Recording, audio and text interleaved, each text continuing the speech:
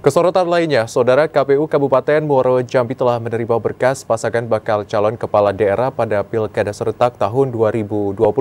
Pada hari kedua, pasangan baca kada yang mendaftar yakni Bambang Bayu Suseno dan Junaidi Mahir. Di hari kedua tahapan pendaftaran bakal calon bupati dan wakil bupati pada Pilkada serentak tahun 2024, KPU Kabupaten Muaro Jambi menerima satu pasangan calon, yakni Bambang Bayu Suseno dan Junaidi Mahir.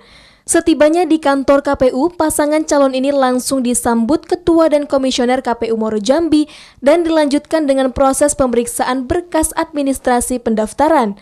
Setelah diperiksa, KPU Moro Jambi menyatakan berkas pendaftaran paslon dengan jargon berbakti untuk Moro Jambi.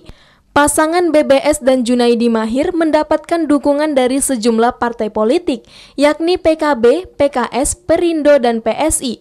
Ketua KPU Al-Mutakin berharap pasangan calon dan pimpinan partai politik serta masa pendukung dapat menjaga kondisi dan ketertiban hingga pelaksanaan penetapan calon terpilih.